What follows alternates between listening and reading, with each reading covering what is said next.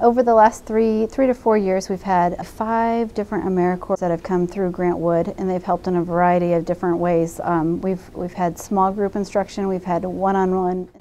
He helps me read and like do head sprout Mimio. He knows a trick, a good trick for doing his chores. He does them the first thing every day. We're hoping that these positive relationships um, let the students know that even one, two, three more people care how they do. And um, you know, just getting the, that sense of self-confidence, you know, the, the AmeriCorps are able to build that up where when you have a struggling reader or a struggling uh, student in math, confidence is key. And, and having those AmeriCorps build that confidence is huge in seeing their success in school.